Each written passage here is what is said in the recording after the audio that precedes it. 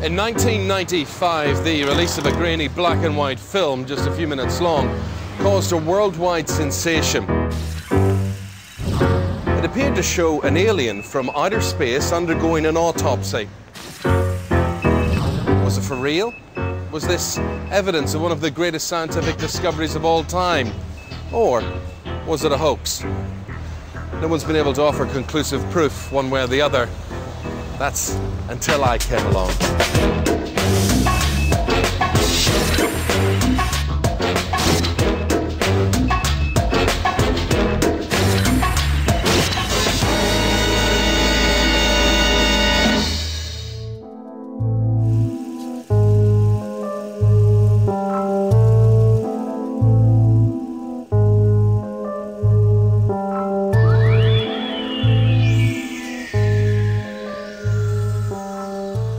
More than 10 years now, that piece of film has divided opinion right across the world. Some say it's irrefutable proof of alien life on other planets.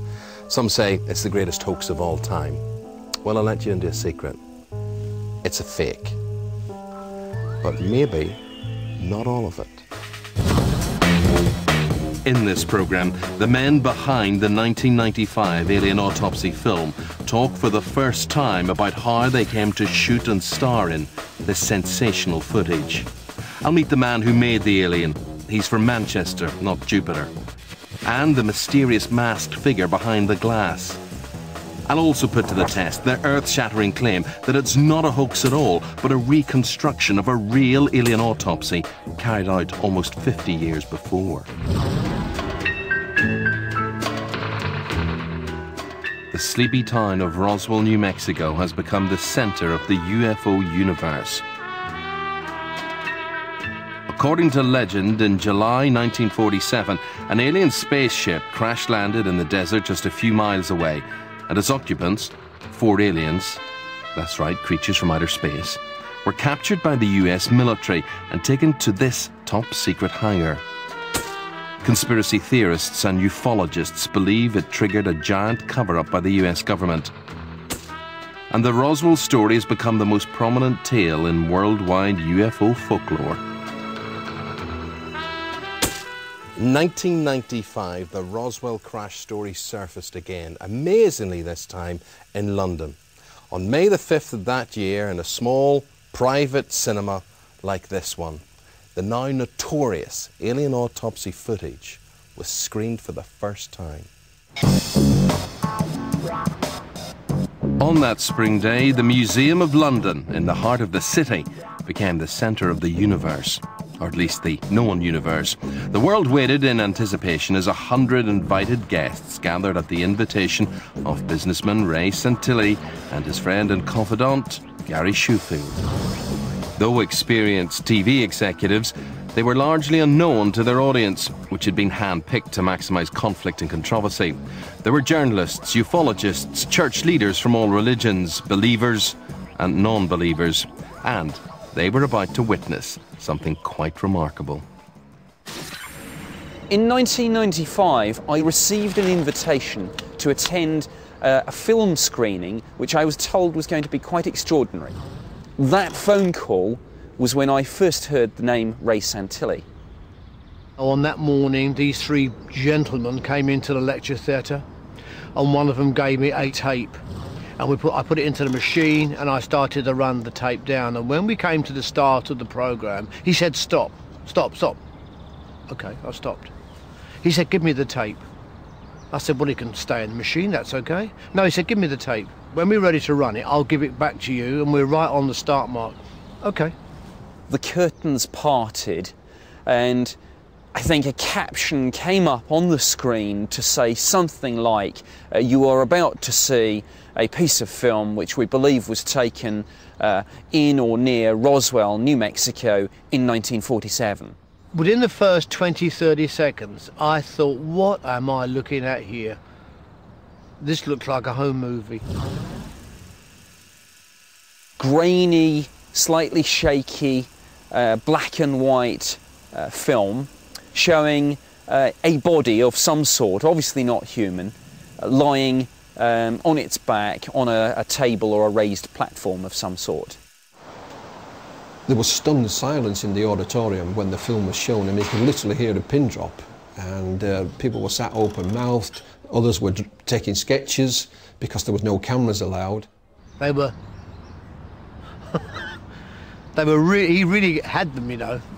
And I really thought, you idiots. I mean, this is rubbish. What's going on here? You know, he's playing with them. And this is the film that was screened that day at the Museum of London. It appears to feature two US Army pathologists performing an autopsy on an alien from outer space. Behind a glass screen, a masked scientist is taking notes. After the screening, it was really a mixed reaction. But most of them, like myself, when I'd first seen it, wanted to know more. Well, he said, what do you think? And I said, well, to be honest, it could have been you in that gown, and you could have shot that two weeks ago. He didn't answer that.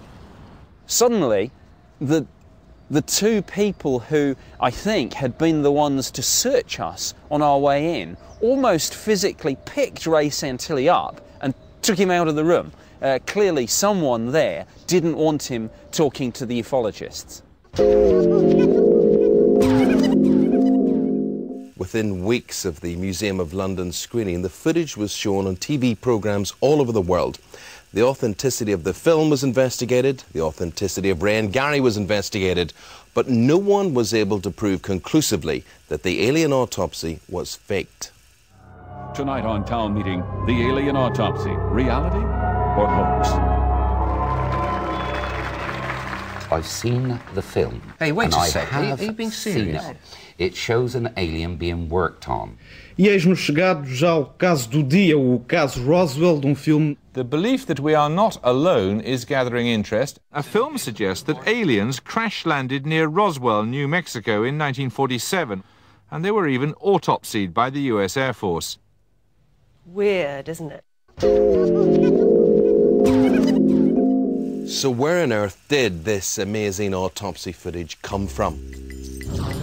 Santilli and Shoefield were in Cleveland, Ohio in 1992 looking for rare home movie footage of Elvis when Ray Santilli claims he was approached by an ex US Army cameraman.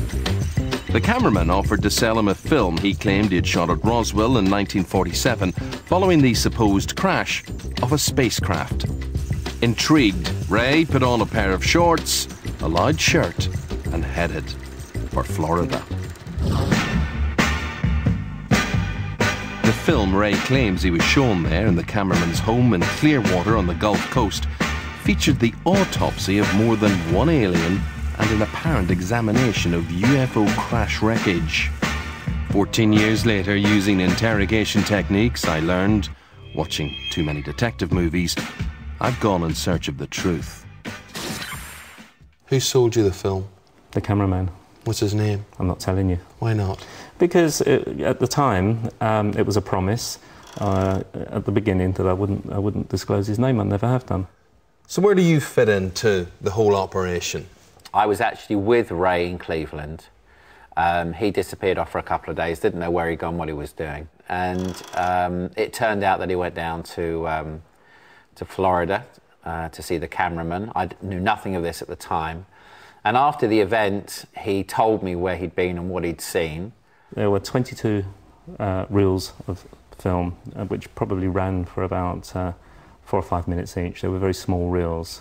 I just remember how clear in his mind he was that this guy was real. You know, if you walk into someone's house and you see the way they live and you see the pictures on the wall and you, you meet their wife, you, you know, you have an absolute understanding from the moment you walk in through that door whether they're genuine or not. But you didn't leave with the film that night. No, he Why was, not? He was a tough cookie. So, how long did it take you to negotiate a deal with them? About two years, eventually. You know, uh, um, we didn't have the cash at the time, and uh, and it was uh, it's a subject which you know you can't really go to the bank and you know and, and, and take a loan out for it. You know, it was just one of those things where um, when, when the time was right and we had the cash, we could then take the punt. How much cash did you pay him? Can you disclose that? It would be it wouldn't be proper for me to to tell. And was this a small amount of money, a medium amount of money, a large amount of money, a massive amount of money? Um, in your terms, not a lot of money. Ray and Gary have until now always claimed that the film shown at the Museum of London in 95 is the same original footage he bought from the cameraman in Florida. This, at any rate, is what he told the TV companies who he gave the film to for free. We gave that film to broadcasters purely on the condition that they investigate it. We didn't care whether they said the film was genuine or not, but I banked on broadcasters um, doing the professional job they do in stirring up the public and, and, in investigating this. I, I, I did bank on, on the fact that they would be able to, to kick this into gear, and they did. But the other thing they were banking on, understandably, was that their chance discovery of proof of life on other planets would turn out to be a bit of a money spinner as well. I first heard of uh, Ray Santilli around about um, April 1995 uh, when he approached one of my reporters uh, with a story that he had exclusive footage. In this particular case, it was something which we couldn't not look at because uh, were it true, it would probably have been bigger than Jesus. There'd clearly been to other newspapers uh, who had offered, I think, somewhere around probably 30, 40,000 pounds uh, the News of the World always likes to pride itself on its ability to pay more, so we topped that offer and offered 50 to see the tape. There was a sort of a, a smoke and mirrors type of uh, conversation between us and uh, Ray Santilli where he was coming up with all sorts of reasons why it couldn't be produced immediately. He assumed that it would be a matter of tape in one hand, brown envelope full of cash in the other. And it was at that point that we told him it would be after publication, and publication would only occur once we had had the, the tape verified by a number of experts. And at this point, he began to get very, very nervous. And immediately after that conversation, all contact between ourselves and Ray Santilli evaporated. He disappeared off the radar screen. So what do we have so far? An apparent autopsy on an alien from outer space, shot in 1947 on 16mm film, and then almost 50 years later bought from an unnamed cameraman in Florida.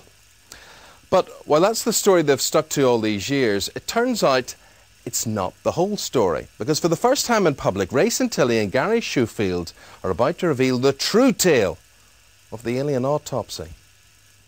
Who starred in your film? Are you there? Yes, I'm there. We had to, to build a, a very precise set. And I'll reveal to you some of the other characters involved in their story, all of them from this planet. Did you poke or prod or yeah, touch the alien? Yeah, take it home with me. Well, we got some uh, sheep's brains and uh, set them in jelly. Uh, raspberry jelly, I seem to recall. There wasn't any difficulty in, in asking people not to talk.